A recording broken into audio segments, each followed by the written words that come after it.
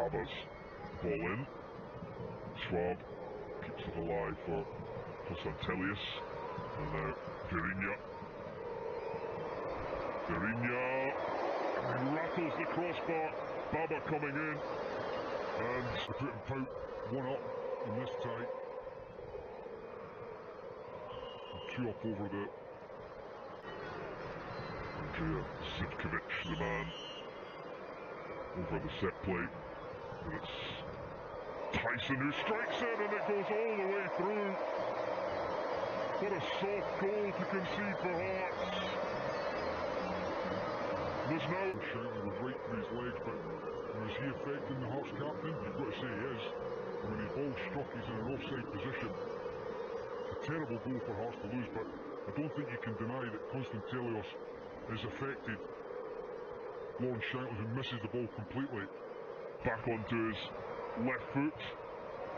Oh, and it's brilliant from Brandon. That's a sensational finish. And it might just be the bit of skill. The striker out. Evander Park is obviously blinded by and he's past him before he can really react. Great goal for Paul. The mountain to climb for Hearts. And the way the game's playing out, it seems The header goes wide of the target, likely to add to the score.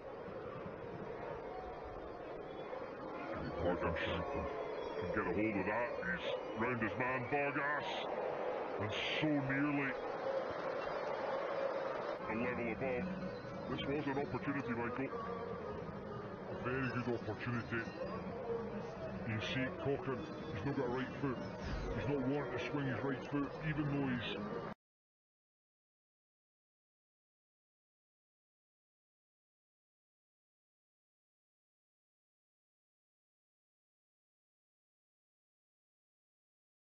break.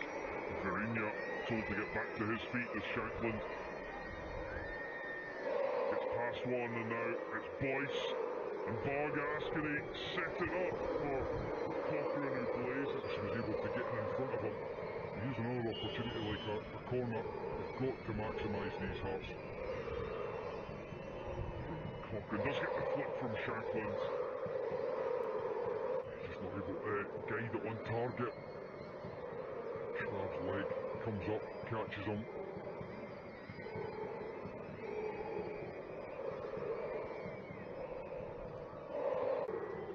Fans have not, the noise has not stopped. Zivkovic and drills it across and it's an easy finish for number three for Konstantelias.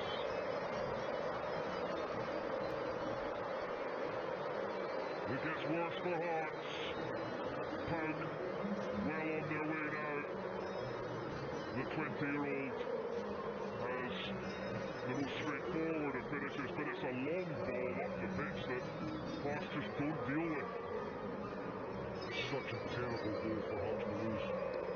Poor positionally, doesn't even recognise that Vieirinha's in behind him. And then that is so easy. Defensively, the rest of the guys just not getting back in. You know, I spoke before about the uh, the big centre half, Koulierakis, when he just pinned Liam Boyce and made sure he wasn't able to go and attack the ball. This is now twice that Kye Rowles has been far too easily brushed off. And you can see there that Konstantelias tries to hit it first of all, it bounces back into his path, and he's got all the time in the world to be able to knock into the net again. Hearts defensively too slow to get back into position, but the initial bit of play from Kye Rowles with Vieirinha is too easy, and that's a big concern for Hearts now. You saw it in the first leg with the, the penalty kick with it was a long ball at the park.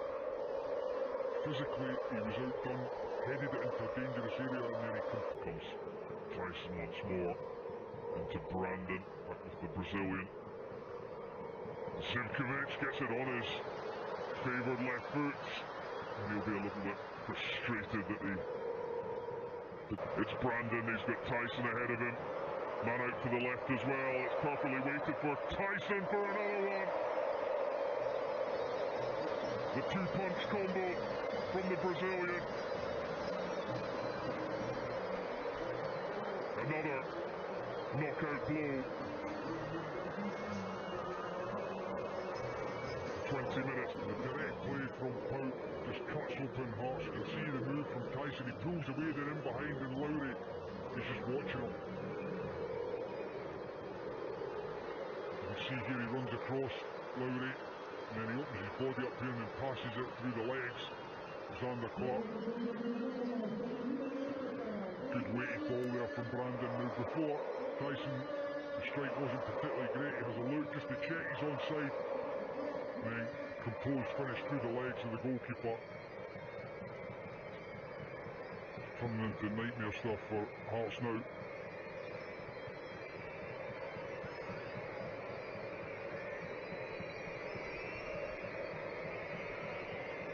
So would you say now the job is to make sure this doesn't do any further psychological damage to the side? Civic has stepped up into midfield and he's been robbed. A chance to drive one from distance. It's deflected wide from See Andy Halliday there getting a block on A straight. That's the strike. Thessaloniki. Lowry's free kick guided on target, but no trouble at all for Kotarski.